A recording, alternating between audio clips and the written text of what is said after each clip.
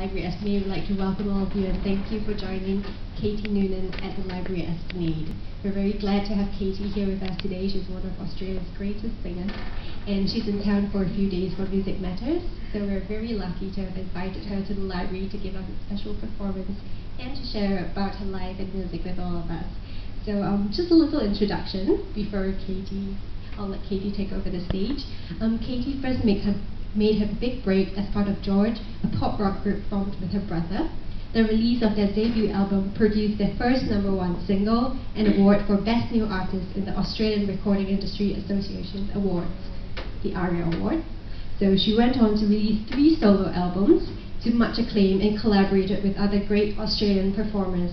Recently voted one of Australia's top 20 singers of all time, she has won four ARIA awards and gone platinum seven times. So with that, I shall let Katie take over. Thank you, Katie. Hello. Good everybody, how are you? Great. I trust that everyone speaks English okay. You'll be able to understand my um, speaking today. I was just wondering, um, are many of you practicing musicians or lovers of music or play music? Um, who plays music? A few? Okay. And um, like professionally or are you studying music? Studying music, okay. And, okay, cool. So, um, well, uh, that helps me because I can talk about some things that are a little bit more related to performing music, I guess. But um, I'd like to keep this as informal as possible, so feel free to ask questions at any time. Um, I might start off with um, a song of mine. Uh, this is a song of um, a record I did with my band, The Captains, and um, it's a song called Emperor's Box. It's a song that I wrote uh, for my dad.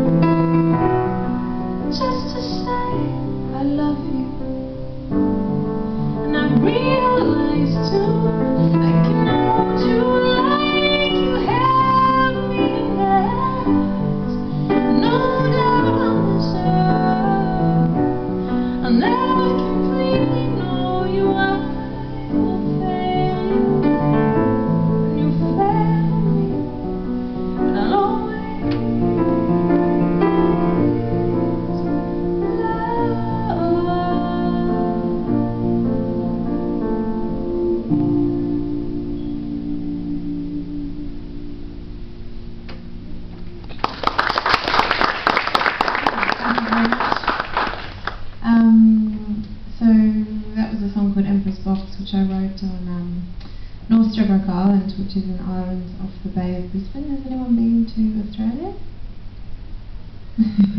Not many. Uh, well, I live on Brisbane, which is I live in Bri- uh, near Brisbane, which is on the east coast, and um, uh, Stradbroke Island is a very beautiful, beautiful island. Um, and it's uh, it's Noonuccal land. Oodgeroo Noonuccal is one of our uh, most revered Indigenous Australian poets, and um, she was a poet and a real activist and an amazing woman. And um, I find that part of the world very inspiring. So I wrote that song and, and many other songs on Stradbroke Island. Um, I guess I might. Did anyone have any questions thus far? You can ask me anything, pretty much. No? Okay. Well, don't be shy. I'm not scary at all. So you can ask me anything about my music or the song I just played or anything like that. Um, uh, what shall I play now? Um, I might play a song that I co-wrote with a great um, New Zealand musician called Tim Finn.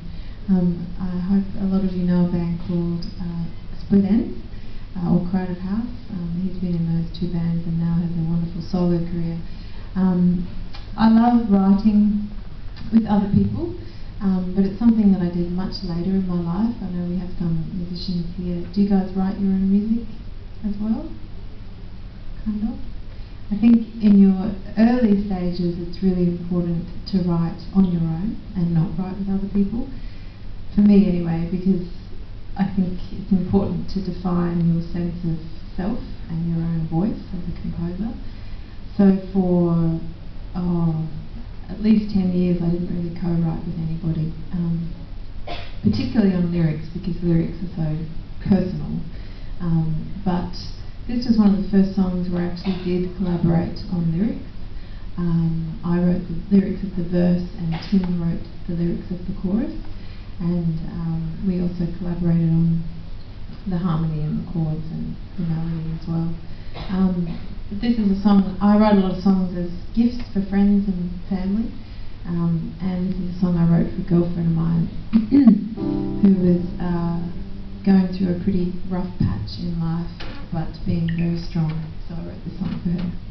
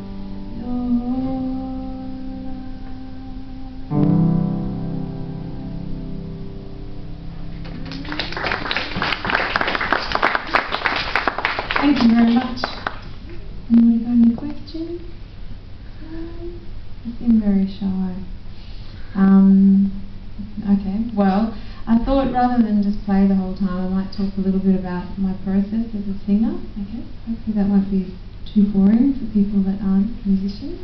Um, um, so I'll just go through a few basic things about um, what I try to do as a singer, and and um, uh, yeah.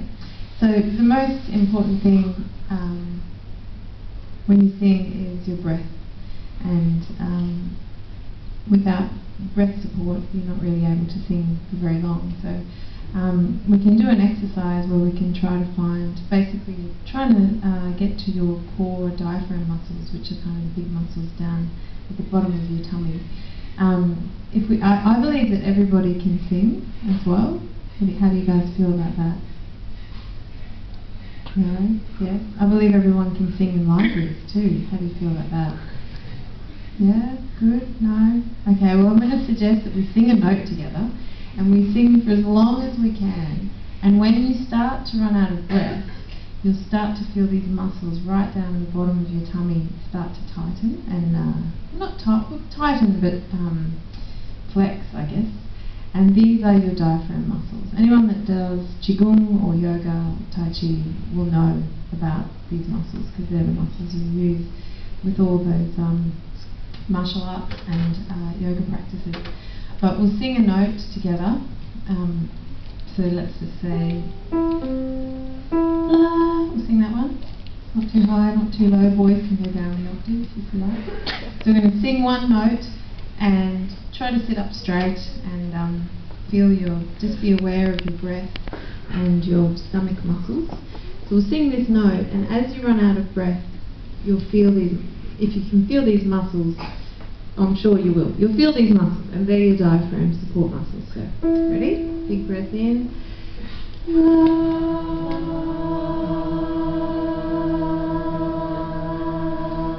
Starting to feel the muscles tighten down below. Yeah? As you run out of breath. So they're your diaphragm muscles. That's the kind of easiest way to find them, because it's hard to describe. Um, so they're the muscles that you want to access all the time that you're singing. Basically, when you're singing, you don't want your chest to breathe at all. Day to day, when I'm talking to you now, I'm kind of talking through my chest, and you can see my shoulders moving, and it's a little bit noisy. But when you're singing, it's a really quite a different process, even though it's the same instrument in that it's your lungs. Um, you need to engage these core muscles. So that's the first thing. If you want to learn how to sing, you have to understand your body and understand the muscles required to um, support your sound. Um, the other main thing with singing is your posture. Um, I'm sitting, which is not ideal. Standing is usually a bit better, but um, just making sure that your your spine is. You kind of imagine a um, a piece of string from the back of your head, and you want to try to keep your jaw and your neck muscles really relaxed. One of the first things to happen when you get nervous is your muscles tense up. So often singers will get quite tense in the neck. And um, so that's the other main thing about singing is just being aware of your posture. Also, of course, the other thing that happens when you get nervous is that you um, your breathing goes. You just, you know, if you get nervous, you suddenly get short of breath and start sweating. And if you've got a concert and you're nervous, that's hard because you want to have these big, beautiful breaths. So um, uh, it's just important to be aware of posture and breathing as probably the two biggest things in singing. Um, and for me, I can't wear high heels. I know some singers can wear amazingly high heels when they sing, but I have no idea how they do it. I like feeling grounded and on the floor. Um, I take my hat off to people that can sing in high heels, but for me to feel my instrument, I need to feel pretty grounded. Um, so yeah, breathing and posture. Um, you should always warm up before you sing, um, and because it's it's like if you haven't, you know, I don't know, maybe not so much with modern cars, but when I grew up, my dad would never drive his car unless he'd warm the engine for 10 minutes beforehand and the voice is the same. You, it is part of your body, and your body needs to be warmed up um, before you sing. So, um, humming and just any sort of warming up exercise to gradually warm the voice up and feel the voice. Starting off with humming, and then um, more long tones, and then working up into your head voice. You don't want to go straight to your head voice because you need to warm up the engine. Um, I, I, could go into it in a lot more detail, but I feel I might alienate non-singers a bit too much. So, does anyone have any questions as I'm going along? How how how can tone deaf people sing? Okay, well, intonation, that's the other thing um, that's the biggest, hardest thing for a singer because, you know, you play a note on a piano and it's in tune, it's an E, and saxophone, but obviously violin, and voice are the two instruments, the main two instruments that you have to find the pitch yourself. Um, there are various theories on that. Uh, ear training, I do it through a process of kind of synesthesia, so colour and sound. Um, so I don't have perfect pitch. Some people are born with perfect pitch, which means that I can play any note and they'll know what note it is. Um, but I have relative pitch, so um, I can tell the relationships between pitches quite easily, which is lucky. Um, but my mum's an opera singer, and she's had people come to her who really were quite tone deaf, and she's managed to just, through gentle persuasion and them being relaxed and learning pieces just over and over and over again, um, much like children learning the times tables, you know, you learn a song over and over again and listen to it a lot and try to train your ears to hear to hear the pitch. And sometimes yeah synesthesia color association can help like you can associate colors with certain pitches. That's what I do. Um, and I also imagine a note as a round um, hole, I guess, and I try to go right to the bullseye in the middle of the hole, like a, um, what do you call it, you know, bow and arrow, yeah. Um, yeah, I, I think I, I think it can be done. I really do. I've seen amazing results with it's just small steps. Um, are you suggesting that you that you are tone deaf? No. so My someone. Pardon me. My wife is. Oh, your wife is, and she loves singing loudly. That, that can be painful if someone is tone deaf but blissfully unaware that they are tone deaf. um, no, I really think you can do it with a with a good singing teacher who's very supportive and loving and gentle.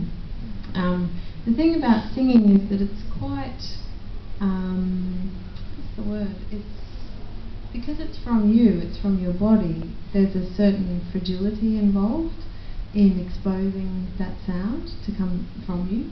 You know, if you play the piano and it sounds bad, you can play, you can blame the piano or the action or whatever. But you know, your voice is your voice, so you need to feel um, safe and looked after and, and gentle. And so I think music teachers should always be gentle and loving with their students, particularly children, because um, if they don't enjoy it, they won't continue doing it, you know. Um, it needs to be fun. So yeah, but there's a lot of different theories on that. But um, colour association is a really good one for really tone deaf people. so um, that might work. Um, does anyone else have a question? Oh, there's one up there. Hi. Hello. Beautiful voice and beautiful lyrics. Oh, thank Uh, you. Just not non-technical you Yes. Um, actually, you answered a little bit of what I was going to ask. I guess music is in your family. You say your mom's an opera singer. Yeah. Um, so for you yourself, has had did you always know that music was going to be part of your life and the choices of being a singer um, and doing this professionally?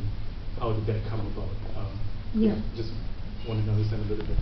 Yeah, so I come from a very musical family. My mum was an opera singer, and my dad is a journalist but was also a jazz singer. So kind of like a kind of Frank Sinatra style crooner guy.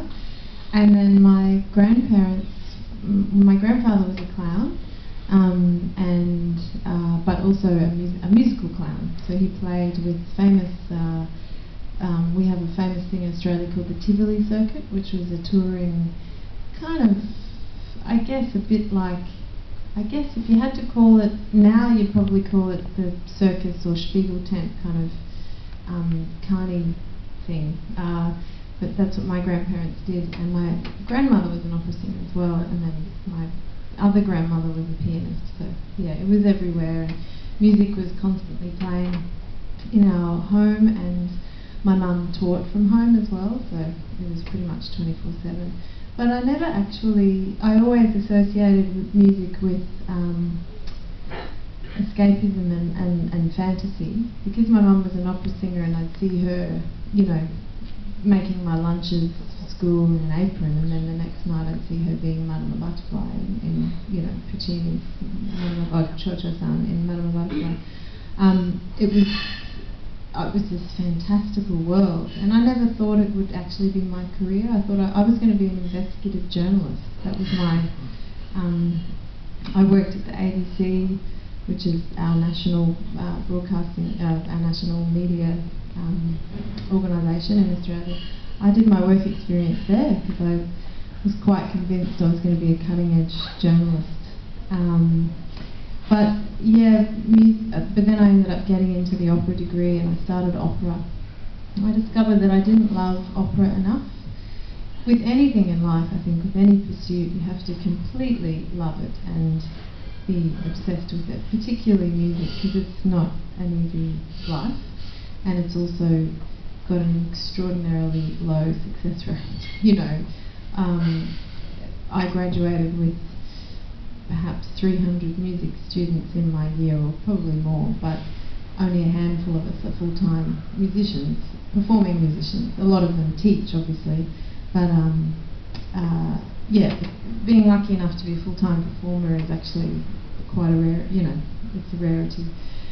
So it's not an easy life, so you need to completely love it. And I knew I didn't love opera enough, so I moved into the jazz department at the Queensland Conservatorium in uh, Brisbane and fell in love with the escapism and the freedom of jazz.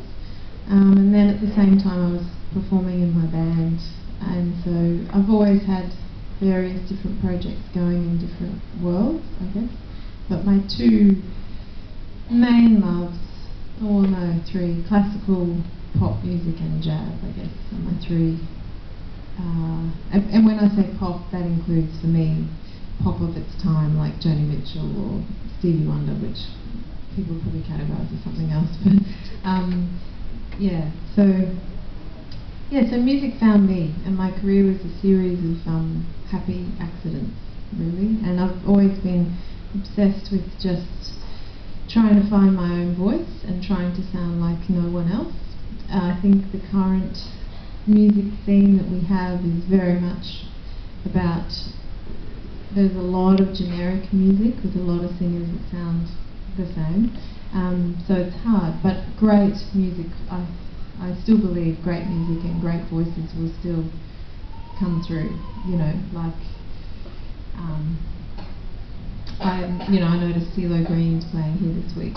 He's got an amazing voice, and he sounds completely unique and like himself. So, you know, great uniqueness will still um, shine in a sea of imitators, I think. Um, yeah, does that kind of answer your question? Yeah.